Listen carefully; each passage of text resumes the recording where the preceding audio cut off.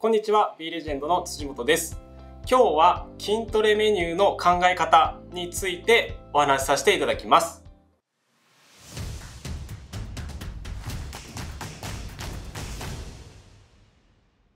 ビールジェンドではお得な情報を公式 LINE にて配信しております。概要欄の方からチェックお願いします。今日は筋トレメニューの考え方についてのお話なんですけれども、まあ、筋トレのメニューをま考えると言ってもですね、まあ、人それぞれのトレーニングの目的によってまあ、様々あります。トレーニングのまあルーティン、頻度や時間、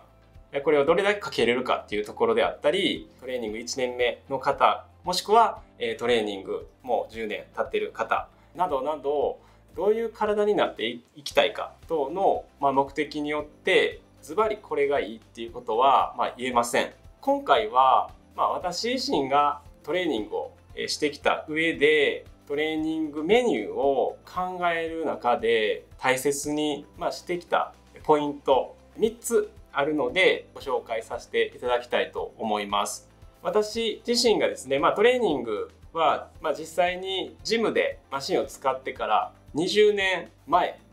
に、まあ、トレーニングを始めたわけなんですけれども、まあ、そこからこう現在に至るまでに段階別にですね、この3つをご紹介させていただければと思います。まず1つ目、継続することを重視する。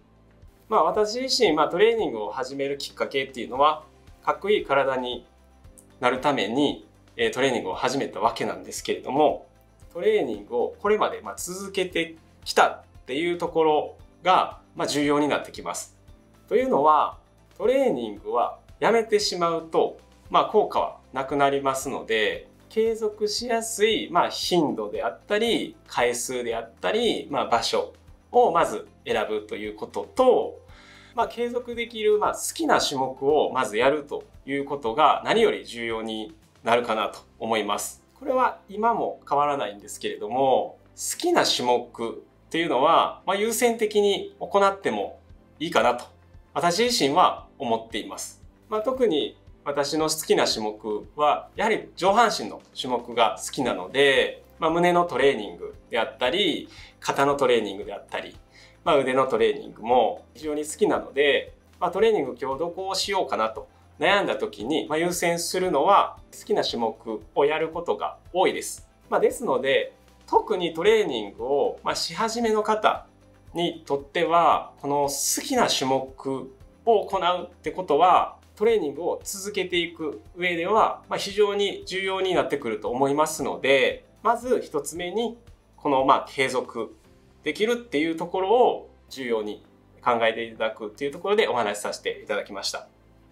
で2つ目、全身のバランスを重視するということなんですけれども、やはり好きな種目ばかり、トレーニングしていると、まあ、結果的に理想の体からま遠のいてしまうというケースがあります。それはま筋力のバランスが崩れてきたり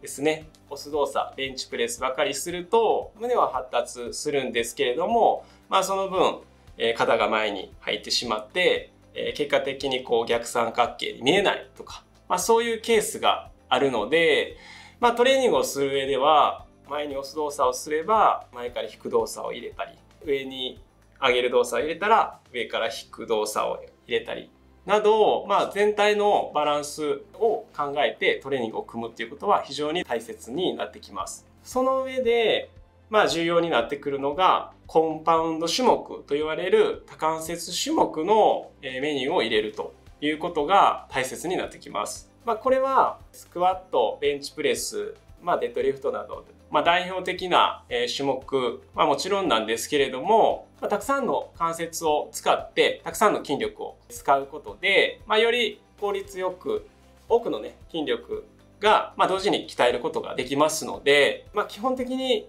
トレーニングを組むメニューを迷ったらそういうコンパウンド種目を選択して大筋群と言われる胸であったり背中足肩などの基本的なトレーニングを、ま、メインで鍛えていく。メニューを、ま考える上で、え全身のバランスを意識してコンパウンド種目を中心にメニューを組むっていうことは、ま、非常に重要になってくると思います。最後に3つ目。弱点な部位や、ま、強化したい部位をトレーニングしていくっていうことになるんですけれどもどうしてもトレーニングをしているとどこどこが強く発達したりどこどこのま筋肉が劣っていたり体のバランスっていうのは崩れてきます。これはバランスよくトレーニングを行っていても体の骨格の形であったり癖であったり、まあ、そういった面からどうしてもですね発達がま遅れてくる部位等も出てくるので、まあ、そういったところをま客観的に見て重点的にトレーニングを行っていくというところになります。まあ、私の場合は、まあ、昔からですねやはり先ほども言った通りえ上半身の種目っていうのは、まあ、非常に好きだったので、まあ、どうしても上半身のトレーニングを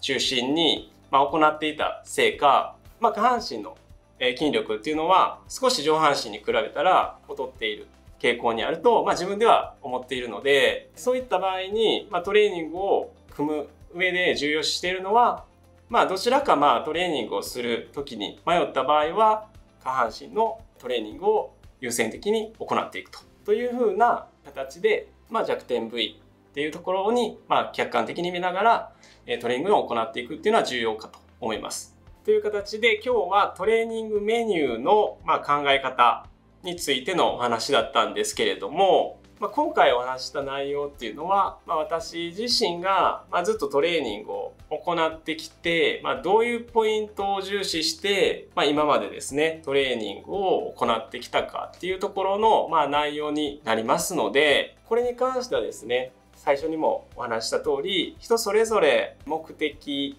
であったり、まあ、トレーニングをま行えるこう環境頻度なども変わってくるので、まあ、参考になるところに関しては参考にしていただければと思います。え今日の動画が参考になったという方は、グッドボタンとチャンネル登録お願いします。B レジェンドの公式 LINE ではお得な情報を配信しております。また、B レジェンドの公式サイトでも新商品やお得なセール情報も配信しておりますので、チャンネル登録の方よろしくお願いします。それではまた次の動画で会いましょう。